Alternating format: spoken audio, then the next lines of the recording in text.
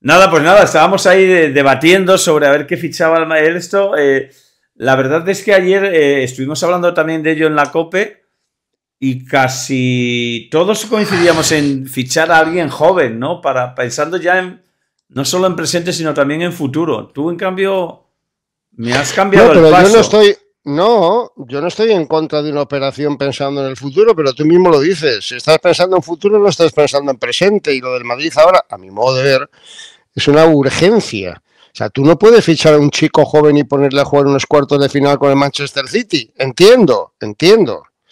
Me parece que, y además a lo mejor es incluso precipitado porque te van a pedir un pastón y, en fin, habláis de lloro y se puede hablar de algún otro jugador por ahí, pero no hay muchos ese nivel eh, centrales en Europa como para decir, oye, estás para jugar en el Madrid ahora. Ojo, no para jugar en el Madrid, el Madrid puede jugar ahora cualquiera, pues está el equipo tan ensamblado y tan tal que, que apenas se lo iba a notar pero cuando lleguen las competiciones duras y las exigencias máximas, pues hombre, ¿qué es lo que tiene el Madrid ahora? Una urgencia. Pues si no tienes una urgencia, no te muevas. No tienes una urgencia, no te muevas. Subes a alguien del Castilla donde no parece que, aflore nadie con garantías, o no sé si se puede recuperar a, Marín del, del Deportivo Alavés, pero a ver, a mí me parece me parece. Aquí cada temporada cambian las cosas, ¿no? Pero Militao y Rudiger es una pareja muy, muy solvente en estos momentos, pero muy solvente, de las mejores de Europa. Entonces, vas a traer a un chico aquí, vale, sí, como operación económico-financiera, etcétera, de futuro, sería lo ideal, pero es que, es que necesitas, es que vuelvo a repetirlo. No es lo que ha pasado, es lo que puede pasar estamos en el primer tercio, no mitad de temporada, estamos en el primer tercio de la temporada. La temporada acaba en mayo, a finales de mayo, nos quedan cinco meses largos de competición. Y eso significa que va a haber más lesiones, que va a haber más cargas de partidos, que hay competiciones mucho más exigentes, que va a llegar un momento en el que no te puedes permitir lujo, ah, voy a dar descansito porque jugamos con la Almería, con perdón. ¿eh? No, Van a ser partidos y partidos y llegaremos en esa espiral. Hombre, si el Madrid de repente continúa con este paso y tiene más o menos asegurada la liga en marzo y se puede permitir alguna licencia, pero yo lo dudo porque yo estoy en contra de, de, opinar siempre con, lo inmediato, ¿no? O sea, es verdad que el Atlético de Madrid y que el Barcelona no están ofreciendo ni mucho menos la solvencia que ofrece el Madrid, pero eso no significa que dentro de dos meses no vaya a pasar lo mismo. Yo creo, yo veo al Madrid ahora muy bien, muy bien. Le veo más equipo que nunca, creo que es la principal virtud del Real Madrid. Es de las primeras veces que veo que el equipo juega como juegan los grandes, a presionar, a no dejar que el rival tenga la pelota. El Villarreal es un buen equipo que acostumbra a tener mucho el balón. Y ayer no le dieron, la primera parte fue arrolladora, no le dieron ni opción ni chance. El Madrid está presionando bien, insisto, como te, era una de las pegas que yo le ponía al Madrid. Me parece que se tiene que adueñar, cuando tú te adueñas de los partidos, tienes que ganar el partido casi siempre. De vez en cuando no le ganas. Si te pierden un contraataque un equipo modesto y te gana 0-1, pero eso también le pasa al City, al Arsenal y, a, cualquiera. Pero eso pasa una vez de ciento en viento. Lo normal es que ganes. O sea, el partido que ha perdido el otro día el Barcelona con el Valencia, no ha perdido el partido, ha sacado un punto. Ese partido se juega 10 veces y 9 les gana el Barcelona. No, es que, mira, y empataron. Bueno, ya, pues a mí el Barça me gustó. Mira, que estoy siendo crítico en los últimos tiempos con el Barça, pero el Barça me gustó. Me gustó porque le vi ese equipo capaz de dominar, de controlar y de generar, pues por lo menos 7, 8 ocasiones de gol bastante claras. Entonces, en esa línea veo al Madrid vamos, le veo mejor que al Barça en todos los sentidos, pero hay que decir, en la línea de juego de controlar y dominar los partidos. Al Barça no le he visto muchos partidos así, pero sí le vimos en Mestalla, el que vio el partido más allá de pegas o no pegas, o de fallos o de falta de eficiencia, estará de acuerdo que fue un Barcelona diferente, capaz de crear muchas ocasiones de gol y que, y que le fallaron. Bueno, pues vale, pero esa es una garantía, a mi modo de ver, para que tú ganes los partidos pues claro que vas a perder alguno. Y de vez en cuando se te encerrará algún equipo como se encerró ayer el United y le aguanta 90 minutos a Liverpool con el 0-0. Bueno, pues bueno, son cosas del fútbol, afortunadamente, ¿no? Si no sería esto demasiado. Pero me niego a pensar, yo también soy, con todo el respeto y la admiración que procede, soy de los que piensa que Girona no va a aguantar el paso de, la pelea por el título, pero bueno, no creo que eso sea ofender a nadie, es lo normal. Que luego aguanta como hizo Leicester, pues fenomenal, joder, estaremos todos, todos en general encantados. menos los seguidores del equipo puntual, pero incluso ellos, ¿no? El del Madrid dirá, bueno, con tal de que no gane el Barça del Atlético, prefiero que gane el Girona antes de cualquier otro, y así lo dirá el del Barça, etcétera. Quiero decir que descartar al Barça y Atlético de Madrid es que no podemos estar toda la temporada a raíz de dos o tres partidos está muy bien, está muy mal, está muy bien, está muy mal, está muy bien. No, esto, esto, los exámenes en junio, siempre digo lo mismo. La temporada es larguísima, cuando el calendario aprieta de verdad. No es cuando juegas un partido cómodo con el Unión Berlín o con el Amberes, como pasado en Champions, es cuando, te, es cuando te tienes que jugar unos cuartos de final con el Arsenal, ¿entiendes? Entonces es cuando de verdad aprieta el calendario y cuando vamos a ver, esto lo decía mucho el sabio de Hortaleza, las ligas se ganan a partir de marzo. Y es verdad. Hombre, si a partir de si a marzo llegas con 12 puntos de ventaja, pues es probable que tenga la liga en el zurrón. Pero ahora los 7 puntos de ahora no digo que no sean significativos, porque eh, sobre todo lo que están hablando es de, de un gran rendimiento del Real Madrid pero yo creo que el Atlético, como dice el Barcelona, tienen que estar por encima de los rendimientos que han ofrecido hasta el momento. ¿no? Lo del Atlético es rarísimo, es verdad, pero yo creo que se han obsesionado tanto con el Calderón, con las 20 victorias consecutivas, con el apoyo del público, con Simeone ejerciendo de maestro de orquesta, que cuando salen fuera, en vez de ser aquel equipo humilde, cicatero, encerrado atrás, que no concedía ni una oportunidad, que te terminaba ganando a 0-1 con un gol de córner de Godín, pues ahora es un equipo que intenta salir a jugar sin las armas que expone, tal vez provocado y animado por el público, el factor campo, etcétera, en el, Calderón.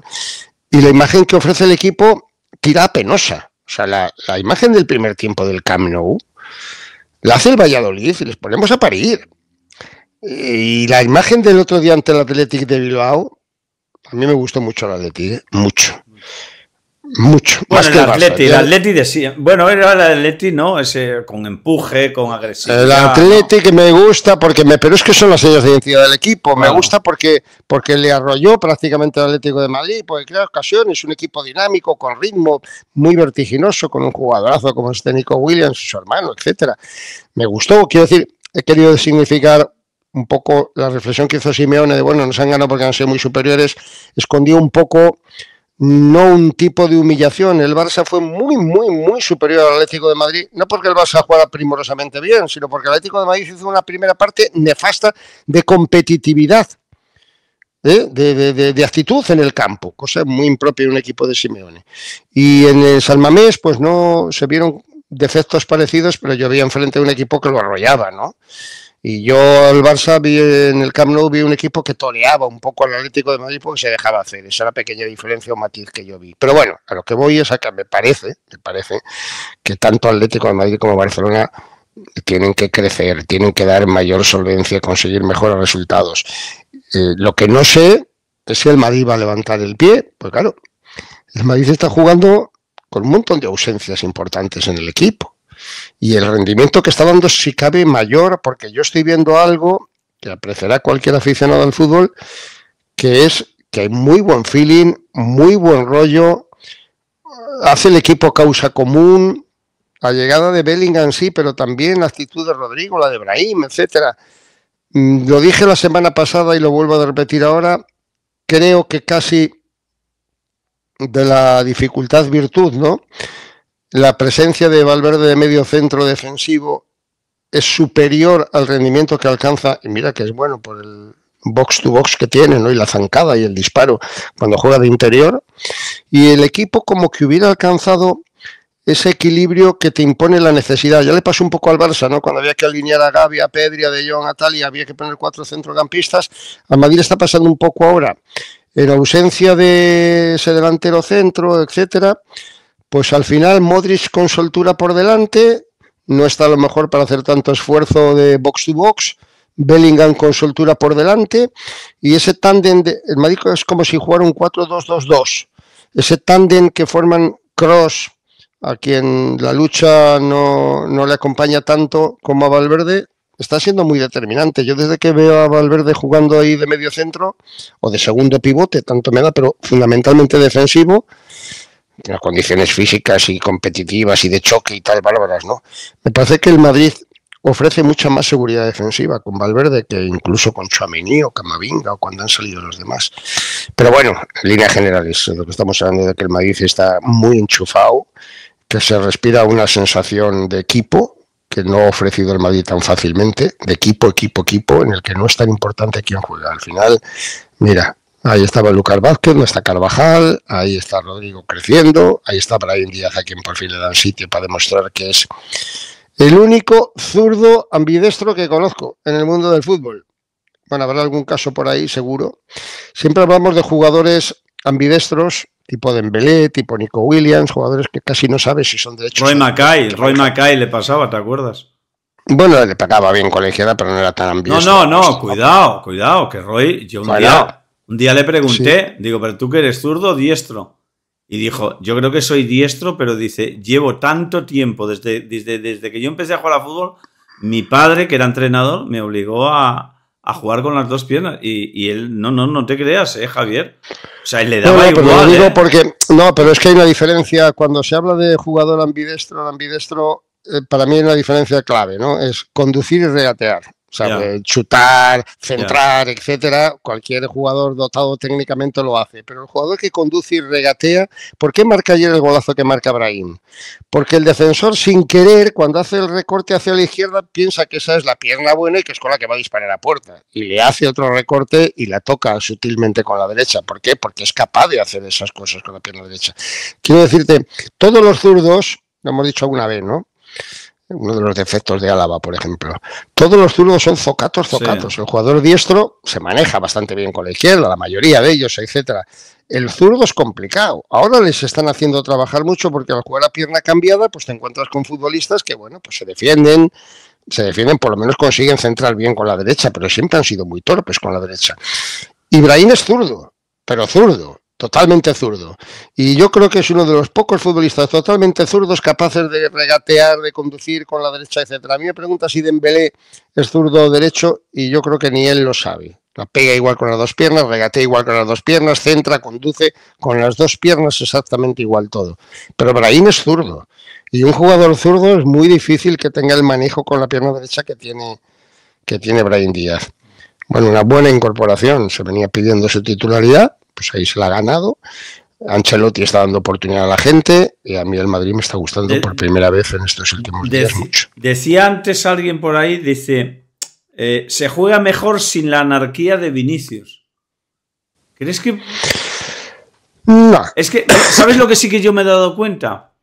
Que cuando está Vinicius, el juego cae siempre para la izquierda. O sea, el Madrid juega juega totalmente volcado en la izquierda. Parece que la derecha, la, parte derecha, como no sea una incorporación de Valverde, mm, bueno, algunas de Carvajal y tal, pero se juega muy poco por la, por la derecha. Y en eso sí que, sí que se ha mejorado. O sea, es verdad que ya, que ya no es tan previsible ese juego solo por la izquierda del Madrid ofensivamente hablando y se juega más, digamos, más proporcionalmente por derecha que por izquierda. Pero eso es consecuencia. Pero que no creo que sea de anarquía, por eso digo que no es de anarquía, que a lo mejor la presencia de Vinicius pues eh, hace que el equipo juegue más volcado en la izquierda. Hombre, primero, vamos a ver, es normal. O sea, Vinicius es un jugador que pide, que expone, que, que encara, que tiene velocidad. Es normal que se juegue pensando en Vinicius. Cuando vas a atacar, es una inercia natural. Es un jugador de desborde, es un jugador que te encara, es un jugador al que hay que darle la pelota. Y después hay otra situación muy particular que puede cambiar y que está cambiando, de hecho, Brahim.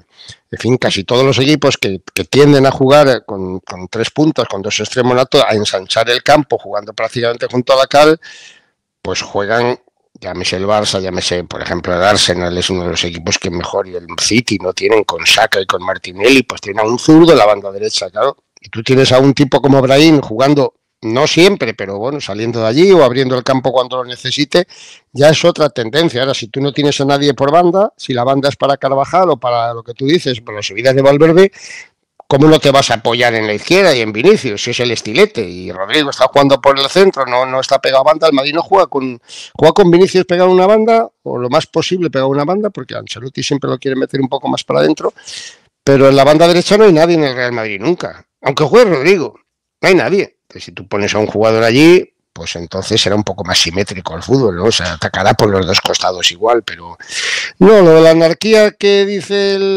nuestro seguidor, a ver, yo creo que viene un poco derivada de, de la incidencia que Vinicius tiene en el campo. Es que es normal, tiene mucha más incidencia que el resto de los jugadores cuando juega. Es algún día mejor, otro día peor, pero la incidencia en el partido es bárbara. Y ahora, pues eh, es un fútbol como un poco más coral, de espacios abiertos, de posiciones menos, ¿sabes? Ahí está un Modric ayer jugando eh, casi de delantero todo el partido prácticamente delantero, volante muy ofensivo y Bellingham juega igual, volante súper ofensivo. Pero claro, la gente, Brahim y Rodrigo, pues eso es lo que decía antes un poco, no es como si jugaran un 4-2-2-2, que eso también se hizo con la época de Kaká, si no recuerdo mal, y en el Milan aquel y tal. Cuando tienes dos jugadores como Modric y Bellingham que, que, que rinden mucho en ataque, y tienes dos puntas, pues no estás jugando con extremos abiertos. Eso es lo que le pasa al Real Madrid, que no juega con un pegado a banda ensanchando el campo. Juega con dos jugadores como Brahim y Rodrigo que se mueven en la punta del ataque, que ocupan espacios, etcétera. Y yo creo que ese es el fútbol, a lo mejor, como decimos siempre, ¿no? de la necesidad virtud. A lo mejor le viene mejor al equipo así, pero de ahí a pensar no sé, que la presencia de Vinicius condiciona el juego del Real Madrid para mal, no. Yo creo que nos olvidamos siempre, nos acordamos de Santa Bárbara cuando truena. Si los resultados fueran malos, estaremos echando de menos a Vinicius, ¿no? Como son buenos, dice, ¿para qué queremos a Vinicius? ¿Para qué queremos a Mbappé? ¿Para qué queremos a nadie? Bueno, hagamos un análisis un poquito más sosegado y sobre todo con más argumentos, ¿no? Esto no es un mes ni dos meses de competición, siempre digo lo mismo y no me canso de repetirlo. Los exámenes a final de curso se hacen las evaluaciones, porque, porque todos sabemos que en la temporada hay altibajos, hay altibajos de equipos, hay altibajos de jugadores, momentos de forma óptima, momentos de dudas, momentos de inseguridad, y no son los nueve meses del año iguales, depende de muchos factores. Fíjate lo del Madrid, tanta adversidad. Te dicen a ti al comienzo de la temporada cuando decías, yo creo que el Madrid tiene equipo para pelear para la Liga, pero para Europa no le alcanza. Fíjate si te dicen ahora en empiezo, ese momento... Ahora empiezo a tener dudas. Ya, normal. Fíjate si te dicen en ese momento que no vas a contar ni con Militao, ni con Courtois, ni con Álava. Dices, a ver si nos clasificamos por Europa, ¿no? Para la Champions. Y mira, y está jugando mejor y dando magníficos resultados. Y no se echa de menos a Courtois, que efectivamente es un porterazo descomunal, ni se echa de menos a Militao. ¿Por qué? Porque hay un equipo. Siempre lo he dicho, es que no me canso. Cuando es el tema de Mbappé o de Hazard y tal, siempre digo lo mismo. Mejor con buenos jugadores, pero son 11. No son dos o tres jugadores o, cinco como en el baloncesto, son 11 futbolistas los que hacen un equipo. Eso de que una estrella. Las estrellas para los equipos modestos, para los equipos pobres, son importantísimas. Si tú en el Granado, en el Almería, tienes a un chaval como el de la Real o el otro que se marchó, etcétera, y te hace 25 goles, pues te salva la categoría. Una estrella, un goleador, sobre todo en un equipo flojo, es determinante. En un equipo grande lo que importan son 11 jugadores en equilibrio dándolo todo. El mejor ejemplo lo está poniendo el Madrid este año. Y, y, se va a Álava y mañana habrá otra lesión, porque va a haber más lesiones, desgraciadamente va a haber más lesiones. Y seguirán funcionando como sigue esta dinámica del equipo. Oye, ¿te está convenciendo más Ancelotti? Tú que siempre has sido así, bueno, con el, Sí. tema del estilo, con... Sí, pero- sí, no. pero no yo, creo que ha buscado muy buenas soluciones, ¿eh? O sea, yo creo que, fíjate, lo de Bellingham, mm, en Bellingham eh, no, no- no jugaba, no jugaba en, esa, en esa posición donde está jugando ahora. Eh, incluso la- el seleccionador inglés eh, está int- a- adaptando tácticamente la selección también a, a esa, a esa nueva posición de, de Bellingham, que, que está más cerca, el otro día lo hablábamos, yo creo que también lo hablábamos, de que a mí me parece que está más cerca de, de Benzema que de Zidane. O sea, mm, Sí, Y- para mí eh, son dos jugadores distintos por la forma de tal, pero se parece mucho a Benzema, mucho Sí, más que a Zidane. Zidane no tenía esa capacidad goleadora. pero digo que eso es una Benzema. que hay que que es mérito del chaval porque es muy bueno, pero que bueno que también hay que saber verlo y que puede responder en esa posición y, y, y Ancelotti lo, le ha encontrado ese sitio que, que le aporta mucho al, al Madrid, ¿no? Porque además, fíjate, él tuvo muy claro, yo creo que incluso antes de que se fuera Benzema, que, o, o después de irse Benzema, que dijo, antes de empezar la, la pretemporada, dijo, vamos a jugar con un 4-4-2, vamos a cambiar. Dice, vamos a jugar con un 4-4-2. Es decir, que él ya tenía en la cabeza que el sitio donde tenía que poner a Bellingham era ahí, una vez que, Belli- que, que Benzema se había ido. Sí, no, vamos a ver, cuando yo Dios me libre de eh, criticar a Ancelotti. Ancelotti tiene una trayectoria y un comportamiento y una actitud y venerado por todos los jugadores, etcétera, que merece un respeto precisamente por lo que decimos tantas veces, que creo que es lo más importante en un equipo grande, ¿no? El manejo del, colectivo, por así decirlo, ¿no? En eso es incuestionable y le pasaba lo mismo a Zidane. O sea, manejan por la ascendencia que tienen, por el oficio, por la experiencia, tiene el culo pelado, que diría Aragonés, maneja el vestuario del Real Madrid magníficamente y eso es muy importante. Eh, cuando hablo del Ancelotti negativo es simplemente que no me gusta que el equipo no ejerza ese mando, ese control, ese dominio en un partido. Que ahora sí lo está haciendo. Y ahora lo está haciendo. O sea, el Villarreal no lo dejó pasar del medio campo casi en toda la primera parte. Y, y lo está haciendo y con una presión importante y con, fin, generando ocasiones de gol con un equipo que te voy a decir la verdad, es muy bueno, pero está jugando mejor de lo que es. O sea, ahora mismo, en este momento puntual, por efectividad, por seguridad, por confianza, etcétera, el Madrid no le puede envidiar a nadie en Europa. Y si yo miro la plantilla, el Madrid no tiene ni mucho menos la mejor plantilla de Europa, me explico. Y eso, eso es mérito del entrenador. Pues claro, nos puede parecer Rodrigo formidable, pero hace cinco días, que es mm. que siempre vivimos a golpe de, gol y de resultado, se estaba cuestionando que Rodrigo no hace goles, que Rodrigo no hace goles, que bueno, que Rodrigo es un complemento. Pues sigue siendo un complemento, Rodrigo. Sigue siendo un complemento, me parece un complemento muy bueno al que se le da espacio, se le da titularidad y juega un equipo que se llama Real Madrid y como tiene calidad para regalar, pues te hace muchísimos goles, pero sigue siendo un complemento si le comparamos con Mbappé, con Haaland, con, con, 40, bueno, 40 no, pero con, unos cuantos delanteros europeos, ¿no? Y un complemento a alto nivel, a muy alto nivel. Y lo de Bellingham ha sido tres cuartos de lo mismo. Lo de Bellingham ha sido de la necesidad virtud. Tiene todas las condiciones de estrella, ese sí es estrella, que no cabe, pero si está marcando 16, lleva ya, ¿no? En la temporada, 16 goles en cuatro meses de campeonato, son números propios de, Ronaldo o de Messi, es porque está jugando con mucho espacio por delante y sin tener que sacrificarse tanto atrás. Le sobra motor para sacrificarse, para correr, a marcar campo, etcétera. Todo eso son situaciones que se van generando por necesidad o por planteamientos y eso lo están trabajando Ancelotti magníficamente bien está trabajando muy bien. Y para mí lo más importante es que el Madrid ha cambiado. No sé si por esa circunstancia, creo que no. Creo que porque se han dado cuenta de que ese equipo puede rendir mejor. un equipo con el plantel y el nivel del Real Madrid, lo vengo diciendo dos años, no puedes dejar que te sobre la pelota un equipo modesto en el Bernabéu. Ya vimos cuántos que se lo han sobado y que te crea ocasiones, te puede pillar un contraataque, te puede pillar una jugada coyuntural, te puede meter un gol de córner, pero lo normal es que ejerzas un mando y un dominio de partido, pero en el Bernabéu y fuera, ¿eh? pero ejerzas un dominio de partido que te lleve a, eso, a asegurar la mayoría de las victorias. El Madrid ahora da la sensación de ser poco menos que imbatible. No es verdad, porque hace cuatro días le ha empatado el Rayo Vallecano y el otro día le empató el Betis, etcétera. Pero la sensación es que, gana con facilidad, que gana con solvencia. A equipos buenos, porque el Villarreal no está haciendo una gran temporada, pero es un buen equipo, ¿no? Y ha goleado a equipos y, ha ganado sin despeinarse. Y eso es consecuencia de, de, un estilo para mí diferente del que tiene el Madrid, el que tenía antes. Gobierna mejor, especialmente en los últimos encuentros gobierna mucho mejor el partido. Al Barça le falta, lo hemos dicho todos estos días también de Xavi. Xavi quiere jugar, pero no tiene la ascendencia sobre el equipo para conseguir ese rendimiento.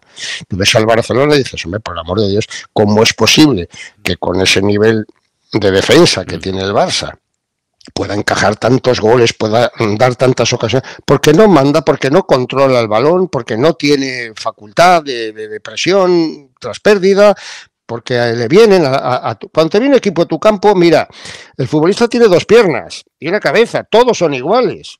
Nos tiene un poquito más de talento, pero ningún jugador de primera división te va a regalar nada. O sea, cuando te viene un equipo de la zona media de la tabla y, te, y le dejas llegar siete, ocho veces en el partido a tu campo, es muy probable que te gane el partido. Es que no tiene que llegarte ni tres veces, porque tú tienes mucho más nivel que ellos. Eso el Madrid creo que lo está haciendo francamente bien y el Barcelona no. El Barcelona está en la búsqueda, pero, pero no lo hace. Ahora, esto no, esto no acaba, ¿cómo va a acabar esto a mitad de diciembre? Por favor.